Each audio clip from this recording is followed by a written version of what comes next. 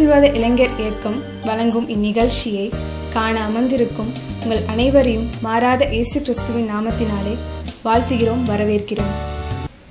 இன்றைய நாளின் கழுகின் சட்டைகள் என்ற தலைப்பில் போன வாரத்தின் தொடர் செய்தியை கூற வருகிறார் பேராசிரியர் நீதிதாசன் அவர்கள்.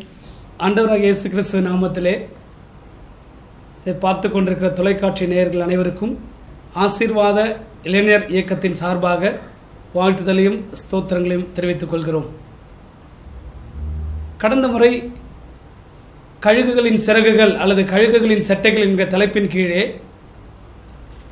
கழுகிற்கு எப்படி ரெண்டு சட்டைகள் முக்கியமோ அதே போல வாலிபனுடைய வாழ்க்கையிலே ஜெபமும் வேதமும் முக்கியம் என்று சொல்லி நாம் தியானித்தோம். இன்றைய நாளிலே வேத வார்த்தையை குறித்து வேதாகம் எந்த அளவிற்கு முக்கியத்துவமாக இருக்கிறது என்பதை குறித்து நாம் தியானிக்க இருக்கின்றோம். ஜான் பார்ஷ் என்கிற தேவ மனிதன் இவ்விதமாய் வேத வார்த்தையை குறித்து சொன்னார். Bible is not man's word about God but it is God's word about man. மனிதனை குறித்து தேவன் சொன்ன வார்த்தைகள். வேத வார்த்தை என்பது அல்லது இறை வார்த்தை என்பது கடவுள் நம்மோடு கூட பேசுவது. ஆண்டவர் நம்மோடு கூட பேசுவது. வேதம் எழுதப்பட்ட கத்தருடைய வார்த்தை. யோவான் முதலாம் அதிகாரம் முதலாம் வசனமும் பதினான்காம் வசனமும் இவ்விதமாய் சொல்லுகிறது. ஆதியிலே வார்த்தை இருந்தது அந்த வார்த்தை தேவனிடத்தில் இருந்தது அந்த வார்த்தையே தேவனாயிருந்தது. அந்த வார்த்தை மாம்சமாகி பூமியிலே நமக்குள்ளே வாசம் பண்ணினார் என்று சொல்லி நாம் வாசிக்கிறோம். யோவன் எட்டாம் அதிகாரம் முப்பத்தி ரெண்டாம் வசனத்திலே சத்தியத்தையும் அறியுங்கள் சத்தியம் உங்களை விடுதலையாக்கும். யோவன் பதினான்காம் அதிகாரம் ஆறாம் வசனத்திலே நாம் வாசிப்போம் என்று சொன்னால் இயேசு இவ்விதமாய் சொன்னார் நானே வழியும் சத்தியமும் ஜீவனுமாய் இருக்கிறேன் என்னை அல்லாமல் ஒருவனும் பிதாவினிடத்தில் வரான். யோவான் பதினேழாம் அதிகாரம் பதினேழாம் வசனத்துடைய பிற்பகுதி சொல்லுகிறது உமது வார்த்தையே சத்தியம். அதனால்தான் வேதாகமும் சத்திய வார்த்தை என்று பெயர் பெற்றது. இந்த வேதாகமத்துக்கு இன்னொரு பெயர் சத்திய வார்த்தை. இன்று நாளிலே இந்த வேதாகமத்தை குறித்து மூன்று தலைப்புகளிலே நாம் தியானிக்க இருக்கின்றோம் பேக்ரவுண்ட் ஆஃப் த பைபிள் வேதத்தின் பின்னணி. இரண்டாவது பியூட்டி ஆஃப் த பைபிள் வேதத்தின் மகத்துவம். மூன்றாவது பிளஸ்ஸிங்ஸ் ஆஃப் த பைபிள் வேதத்தின் ஆசீர்வாதங்கள். Background of the Bible beauty of the Bible and blessings of the Bible ஒருவேளை நாம் நினைக்கலாம் ஏதோ வேதாகவும் ஏதோ வேத அறிஞர்களால் அல்லது தேவ மனிதர்களால் எழுதப்பட்ட வார்த்தை என்று சொல்லி நாம் அதை குறித்து நாம் எண்ணலாம். ஏறக்குறைய ஆயிரத்தி ஆறுநூறு ஆண்டு இடைவெளிகளிலே ஆறு யுகங்களிலே நாற்பது எழுத்தாளர்களை வைத்து ஆண்டவர் இந்த வேத புஸ்தகத்தை எழுதி நம்முடைய கரத்திலே தந்திருக்கின்றார். பழைய ஏற்பாடு புதிய ஏற்பாடு என்று சொல்லி ஒன்றாக இணைந்த பரிசுத்த வேதாகமும் சத்திய வேதாகமும் என்று சொல்லி இன்றைக்கு நம்முடைய கரத்தில் இருக்கிறது. இந்த வேதாகமத்தை எழுதிய ஆக்கியோன்கள் அல்லது ஆசிரியர்கள் எல்லோருமே படித்தவர்களும் அல்ல பாமரர்களும் அல்ல. ஆண்டவர் இந்த வேதாகமத்தை உருவாக்குவதற்கு பல தரப்பட்ட மக்களை இதில் பயன்படுத்தினார்.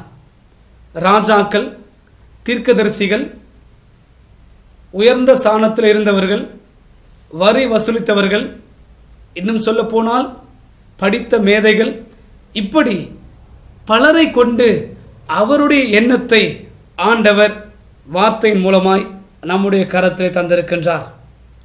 ஆயிரத்தி எட்நூத்தி பதினைந்தாம் ஆண்டு முதல் ஏறக்குறைய ரெண்டரை பில்லியன் வேதாகமங்கள் விற்கப்பட்டிருக்கின்றன என்று சொல்லி இன்றைக்கு நாம் அறிந்து கொள்ளலாம்.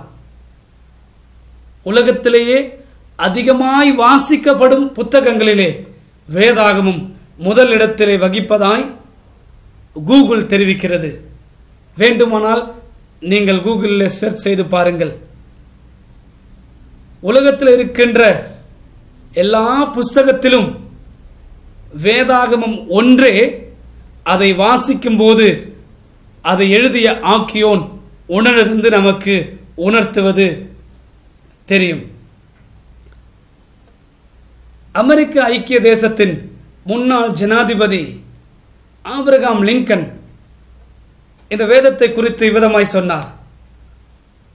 I believe the Bible is the best gift God has ever given to mankind மனித இனத்திற்கு தரப்பட்ட கொடைகளிலே வேதாகமமே சிறந்தது என்று சொல்லி சொன்னதை நாம் பார்க்கிறோம். பதினான்காம் நூற்றாண்டுக்கு முந்தைய காலங்களிலே இந்த வேதாகமம் தேவாலயங்களிலே அல்லது பேராலயங்களிலே சங்கிலிகளினால் மாட்டப்பட்டிருந்தது. பதினான்காம் நூற்றாண்டிலே ஜான் விக்லிஃப் என்கிற ஆக்ஸ்போர்ட் இறையியல் கல்லூரி பேராசிரியரும் இறையில் வல்லுரும் வல்லுனருமான இவர் மூலமாய் வேதாகமும் லத்தீன் மொழியில இருந்து ஆங்கிலத்துக்கு மொழியாக்கம் செய்யப்பட்டது. அதற்காய் லத்தீன் மொழியிலிருந்து ஆங்கிலத்துக்கு மொழியாக்கம் செய்யப்பட்டதை தேவ குற்றம் தேவ தூஷணம் என்று சொல்லி ஆக்ஸ்போர்ட் பல்கலைக்கழகத்திலிருந்து தூக்கி எறியப்பட்டார். அதோடு மட்டுமல்லாமல் அவர் மொழிபெயர்த்த மற்ற வேத வார்த்தைகளை சேர்த்து கொளுத்தினார்கள். ஜான் விக்லிஃபுக்கு பின்பு அவரை பின்தொடர்ந்த ஜான் பர்வே நிக்கலோஸ் போன்ற தேவ மனிதர்கள் இந்த முழு வேதாகமத்தை ஆங்கிலத்திலே மொழிபெயர்த்தார்கள். மொழிபெயர்க்கப்பட்ட பிரதிகள் தடை செய்யப்பட்டிருந்தாலும் மறைமுகமாக இது ஜனங்களுக்குள்ளே விற்கப்பட்டது. இப்படி செய்தவர்களை கண்டுபிடித்து வேதாகமங்களை அவருடைய கழுத்திலே சுற்றி உயிரோடு கொளுத்தியதாய் திருச்சபை வரலாறு நமக்கு போதிக்கின்றது. ஆயிரத்தி ஐநூற்றி நாற்பதாம் ஆண்டு விக்லிஃப் விட்டு சென்ற பணிகளை வில்லியம் டிண்டேல் என்கிற தேவ மனிதன் தொடர்ந்து பிடித்தார். அதற்காய் அவருக்கு தரப்பட்ட பரிசு அவர் ஜெர்மன் தேசத்திற்கு இங்கிலாந்திலிருந்து ஜெர்மன் தேசத்திற்கு நாடு கடத்தப்பட்டார். நாடு கடத்தப்பட்ட பின்பும் அவரால் சும்மா இருக்க முடியவில்லை. அங்கே இருந்தும் வேதாகம மொழிபெயர்ப்பு பணிகளை செய்து கொண்டே இருந்தார். இங்கிலாந்து அரசன் தந்திரமாய் அவரை மீண்டும் இங்கிலாந்துக்கு வரவழைத்து மொழிபெயர்க்கிற வேலையை இங்கிலாந்திலே செய்யலாம் என்று சொல்லி தந்திரமாய் பேசி வரவழைத்து அவர் இங்கிலாந்துக்கு வந்த பின்பு அவரால் மொழிபெயர்க்கப்பட்ட எல்லா வேத புஸ்தகங்களையும் எடுத்து ஒரு கழுத்திலே அவருடைய கழுத்திலே சுற்றி எல்லோரும் பார்க்கத்தக்கதாக அவரையும் சேர்த்து உயிரோடு கொளுத்தினார்கள். உயிர் பிரிவதற்கு முன்பதாய் அவர் செய்த கடைசி வார்த்தை அல்லது ஜெபம் ஆண்டவரே இங்கிலாந்து அரசரின் கண்களை திறந்தருளும். அதற்கு பின்பு வேதாகம் அநேக மொழிகளிலே மொழியாக்கம் செய்யப்பட்டது. மார்ட்டின் லூத்தர் ஜெர்மன் மொழியிலே வேதாகமத்தை மொழியாக்கம் செய்தார். வில்லியம் கேரி போன்ற தேவ மனிதர்கள் இந்தியாவிற்கு வந்த பின்பு இந்திய மொழிகளை அறிந்து ஏறக்குறைய இருபது இந்திய மொழிகளிலே முழு வேதாகமத்தையும் நாற்பது இந்திய மொழிகளிலே புதிய ஏற்பாடையும் மொழியாக்கம் செய்வ செய்யப்படுவதற்கு நேரடியாகவோ மறைமுகமாகவோ உதவி செய்தார் என்று சொல்லி திருச்சபை வரலாறு நமக்கு போதிக்கிறது. இந்த கண்பான வாலிப தம்பி இந்த கண்பான வாலிப சகோதரி இன்றைக்கு நம்முடைய கையில் இருக்கிற இந்த தமிழ் வேதாகமும் ரெவரன் சீகல் பார்க் மூலமாய் மொழியாக்கம் செய்யப்பட்டது. இந்த வேதாகமும் சாதாரண ஒரு புத்தகம் அல்ல இது தேவனுடைய இருதயம். தேவனுடைய சித்தம். இந்த முழு வேதாகமத்தையும் நீங்கள் சுருக்குவீர்கள் என்று சொன்னால் இயேசு கிறிஸ்துவின் மூலமாகவே ரட்சிப்பு என்பதுதான் முக்கியமாய் வெளிப்படுகின்ற காரியம். இதுதான் வேதத்தின் பின்னணி.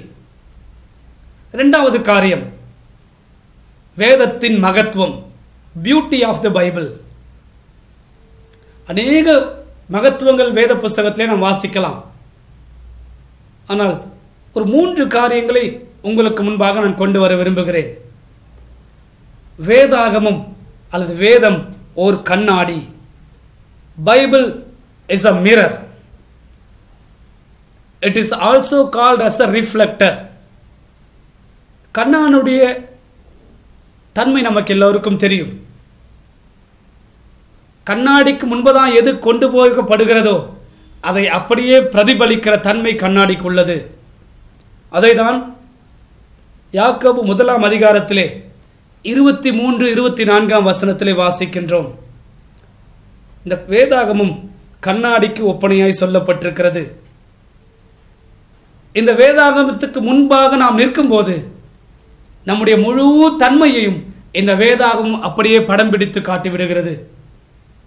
உச்சன் தலை முதல் உள்ளம் கால் வரை எப்படி நாம் இருக்கின்றோமோ அதை அப்படியே படம் பிடித்து காட்டுகின்ற ஒரு தன்மை இந்த வேதாகமத்துக்கு உண்டு.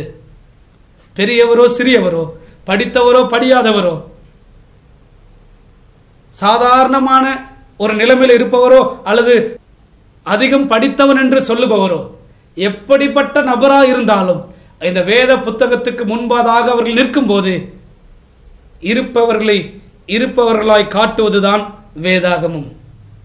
இதுதான் வேதத்தின் மகத்துவம்.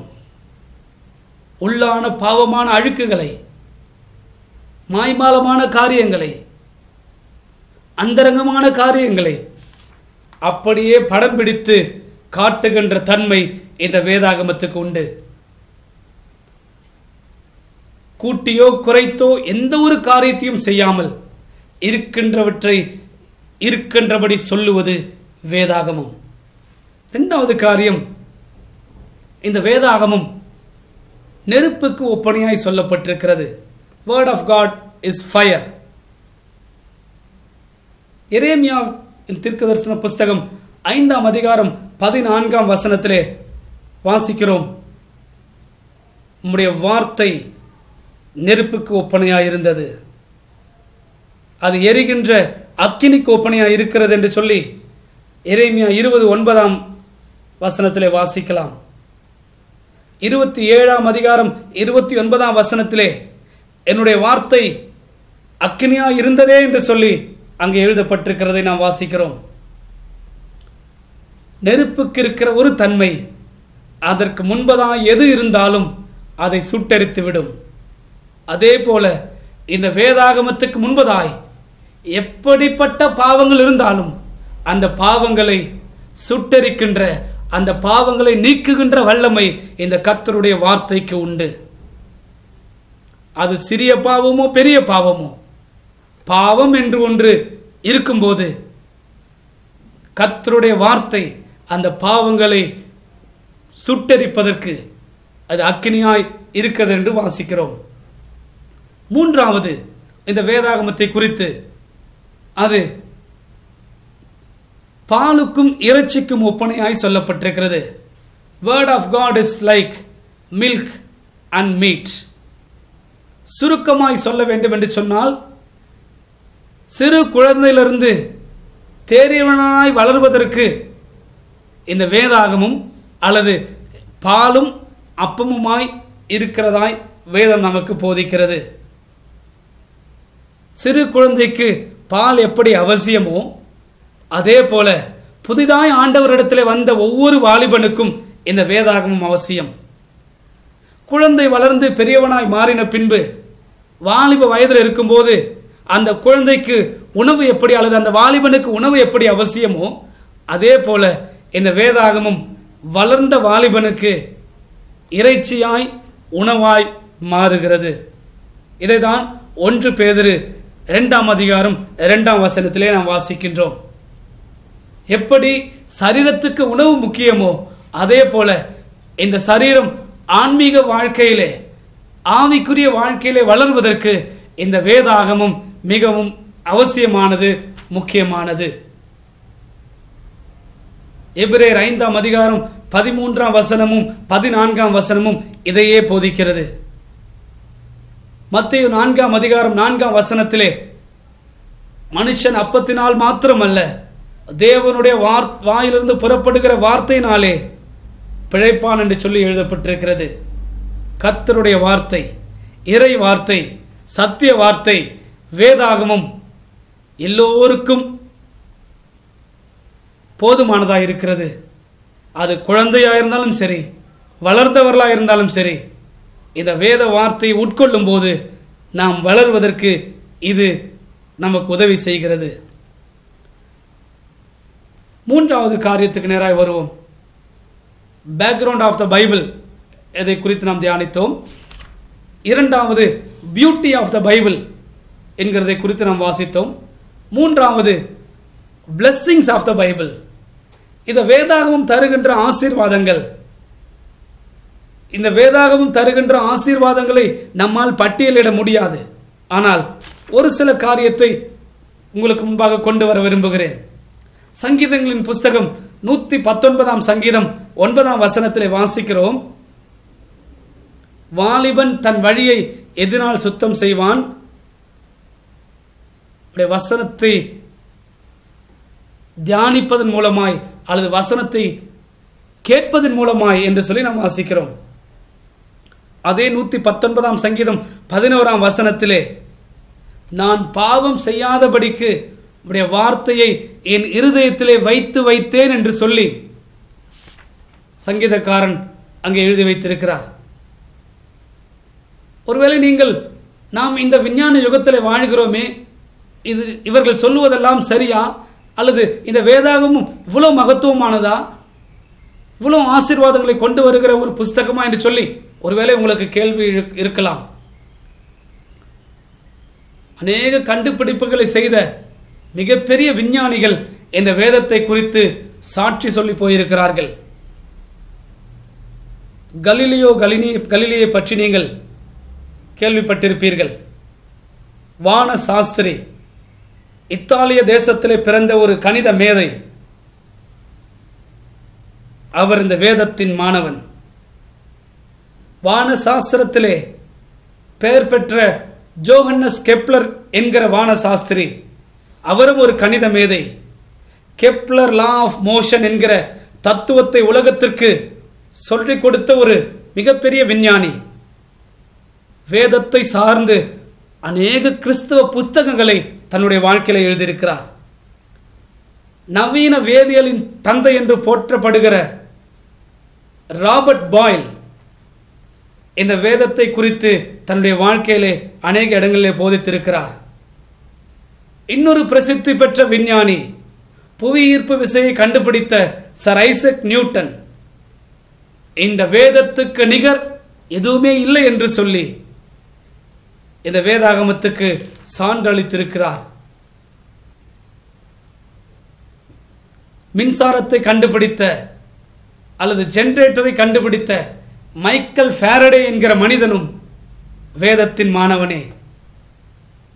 இன்றைக்கு நீங்களும் நானும் அதிகமாய் பயன்படுத்துகின்ற கம்ப்யூட்டரை கண்டுபிடித்த சார்ல்ஸ் பேபேஜ் என்கிற விஞ்ஞானியும் வேத புஸ்தகத்துக்கு நிகர் எதுவும் இல்லை என்று சொல்லி தன்னுடைய வாழ்க்கையில சாட்சி பகிர்ந்திருக்கிறார். இப்படி இந்த வேத புஸ்தகம் அநேக சா- ஆசீர்வாதங்களை தேவ மனிதருடைய வாழ்க்கையிலே கொண்டு வந்திருக்கிறது. ஒரு மூன்று காரியங்களை உங்களுடைய கண்களுக்கு முன்னால் கொண்டு வர விரும்புகிறேன்.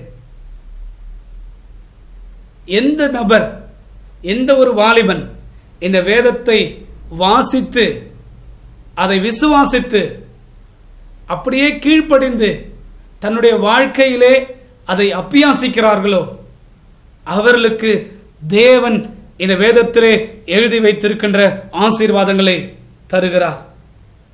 முதலாவது காரியம் அவர் ஞானத்தை தருகிறார். டிஸ்கிரிஷன் பகுத்தறிகின்ற அறிவை தருகின்றார். நாம் வாழுகின்ற உலகம் போட்டிகள் நிறைந்த ஒரு உலகமாக இருக்கிறது it is a competitive world எந்த ஒரு காரியத்தையும் அறிவை வைத்தே தீர்மானிக்கின்ற ஒரு காலகட்டத்தில் இருக்கின்றோம். வேதத்தை வாசிக்கும் போது அல்லது வேதத்தை ஒழுங்காய் படிக்கும்போது கத்த நமக்கு ஞானத்தை தருகிறார் என்று சொல்லி நாம் வாசிக்கிறோம். கத்தருக்கு பயப்படுதல் ஞானத்தின் ஆரம்பம் என்று சொல்லி நீதிமொழிகளிலே நாம் வாசிக்கிறோம். வேதாகமும் தருகின்ற ஒரு ஆசீர்வாதம் ஞானம் டிஸ்கிரிஷன் இரண்டாவது காரியம் வேதாகம் தருகின்ற அடுத்த ஆசீர்வாதம் தூய்மையாய் வாழ்வதற்கு உதவி செய்கிறது. டிவோஷன் பரிசுத்தமாய் தூய்மையாய் வாழ்வதற்கு இது நமக்கு உதவி செய்கிறது. நாம் வாழுகின்ற இந்த உலகம் கரை படிந்த உலகம் எந்த பக்கம் திரும்பினாலும் பாவங்கள் நம்மை சூழ்ந்து கொண்டிருக்கிறது. இதைதான் நாம் தொடர்ந்து அநேக இடங்களில் நாம் வாசிக்கிறோம். இப்படிப்பட்ட பாவமான இந்த உலகத்தில் வாழ்கிற நமக்கு பரிசுத்தமாய் வாழ்வதற்கு இந்த வேத வார்த்தை வேதாகமும் நமக்கு உதவி செய்கிறது. இந்த கத்தருடைய வார்த்தையை பயபக்தியாய் வாசிக்க வாசிக்க வாசிக்க வாசிக்க பாவமான காரியங்களை விட்டு பரிசுத்தமாய் வாழ்வதற்கு இந்த கத்தருடைய வார்த்தை நமக்கு உதவி செய்கிறது. மூன்றாவது காரியம்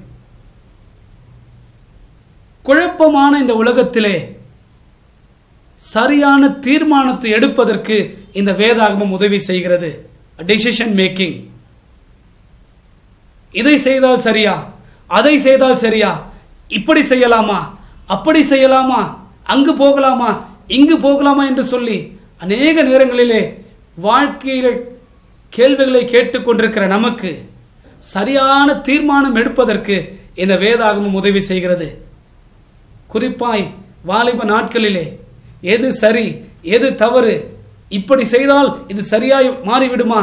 இது என்னை முன்னேற்றத்துக்கு நேராய் கொண்டு போய்விடுமா? என்று சொல்லி அநேக நேரங்களிலே குழம்பி இருக்கின்ற சூழ்நிலைகளிலே இந்த கத்தருடைய வார்த்தை இந்த சத்திய வார்த்தை இந்த பரிசுத்த வார்த்தையை தியானிக்க படிக்க இது நம்மை சரியான தீர்மானத்துக்கு நேராய் கொண்டு போய் விடுகிறது.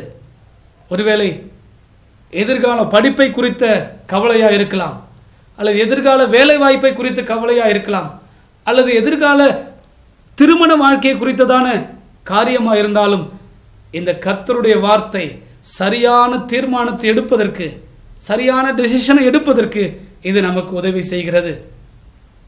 மூன்று காரியங்களை நாம் தியானித்தோம். பேக்ரவுண்ட் ஆஃப் த பைபிள் வேதத்தின் பின்னணி பியூட்டி ஆஃப் த பைபிள் வேதத்தின் மகத்துவம். பிளெஸ்ஸிங்ஸ் ஆஃப் த பைபிள் வேதத்தின் ஆசீர்வாதங்கள். எனக்கு அன்பான வாலிப சகோதரா சகோதரி இதை பார்த்து கொண்டிருக்கிற இந்த நேரத்திலே ஆண்டவர் இன்றைக்கு உன்னோடு கூட அவருடைய திருவார்த்தையின் மூலமாக இடைப்பட்டிருக்கிறார். ஒருவேளை இதுவரைக்கும் இந்த வேதத்தின் மகத்துவத்தை அறியாமல் இருந்திருக்கலாம். ஒருவேளை இதுவரைக்கும் இந்த வேதத்தின் பின்னணி உனக்கு தெரியாமல் இருந்திருக்கலாம். ஒருவேளை இதுவரைக்கும் இந்த வேதத்தின் ஆசீர்வாதங்கள் இப்படிதான் என்று அறியாமல் இருந்திருக்கலாம். ஆனால் இன்றைய நாளிலே இந்த நிகழ்ச்சியின் மூலமாய் ஆண்டவர் உன்னோடு கூட பேசிக் கொண்டிருக்கிறார். வேதாகமும் சாதாரண புத்தகம் அல்ல வேதாகமும் ஏதோ ஒரு சிலருக்காய் எழுதப்பட்ட புத்தகம் அல்ல. அநேகருடைய வாழ்க்கையை தலைகீழாய் புரட்டி போட்ட சாட்சி இந்த வேதாகமத்துக்கு உண்டு. இந்த வேதாகமத்துக்கு விரோதமாய் எத்தனையோ பேர் எழும்பினார்கள். ஆனால் இன்றைக்கும் இந்த வேதாகமம் உன்னோடு கூட என்னோடு கூட பேசிக் கொண்டிருக்கிறது. வேதத்தின் மகத்துவத்தை அறிந்து கொண்ட நீ வேதத்தின் மேன்மையை அல்லது பின்னணி அறிந்து கொண்ட நீ. வேதத்தின் ஆசீர்வாதத்தை அறிந்து கொண்ட நீ. உன்னுடைய வாழ்க்கையிலே இந்த வேதத்திற்கு முக்கியத்துவம் தருவாய் என்று சொன்னால் இந்த வேதத்திலே சொல்லப்பட்டிருக்கிற ஆசீர்வாதங்கள் உன்னுடைய வாழ்க்கையில வந்து சேரும். என்னோடு கூட சேர்ந்து கண்களை மூடி ஜெபிக்கலாமா? அன்பின் பரலோக பிதாவே இந்த நல்ல நேரத்துக்காக உமக்கு நன்றி செலுத்துகிறோம். அண்டவரே தொலைக்காட்சியின் வழியாய் இந்த நிகழ்ச்சிகளை பார்த்து கொண்டிருக்கிற ஒவ்வொருவருக்காக நாங்கள் உமக்கு நன்றி செலுத்துகிறோம். குறிப்பாக வாலிப உள்ளங்களை உங்களுடைய சமூகத்துக்கு நேராக நாங்கள் கொண்டு வருகிறோம் ஆண்டவரே. வானமும் பூமியும் ஒழிந்து போகும். ஆனால் உடைய திருவார்த்தை மாறாதது என்று சொல்லி நாங்கள் வாசிக்கிறோமே.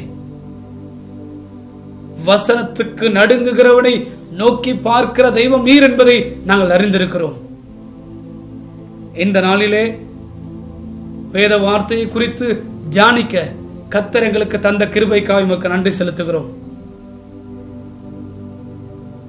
வேதத்தின் பின்னணியை அறிந்து கொள்ள கத்தர் எங்களுக்கு கிருபை செய்தீரே. வேதத்தின் மகத்துவத்தை அறிந்து கொள்ள கத்தர் எங்களுக்கு கிருபை செய்தீரே. வேதத்தின் ஆசீர்வாதங்களை அறிந்து கொள்ள கத்தரங்களுக்கு கிருபை செய்தீரே. உமக்கு நன்றி செலுத்துகிறோம். ஒவ்வொரு வாலிபரும் இதை பார்த்து கொண்டிருக்கிற ஒவ்வொரு நபரும் தங்கள் வாழ்க்கையிலே வேதாகமத்துக்கு முக்கியத்துவம் தர கத்தர் உதவி செய்யும்படி நாங்கள் ஜெபிக்கிறோம். தொடர்ந்து உங்களுடைய சித்தத்தை நிறைவேற்ற கத்தர் எங்களுக்கு உதவி செய்வீராக. தாழ்த்துகிறோம். மீட்பர் மூலம் ஜபிக்கிறோம். நல்ல பிதாவே. ஆமென். பரிசுத்த வேதத்தின் பின்னணியம் எப்படிப்பட்டது? வேதாகமத்தின் ஆசீர்வாதங்கள் வேதாகமத்தின் மகத்துவங்கள் ஆகியவற்றை அறிந்து கொண்டோம். கர்த்தர் தாமே உங்களை ஆசீர்வதிப்பாராக.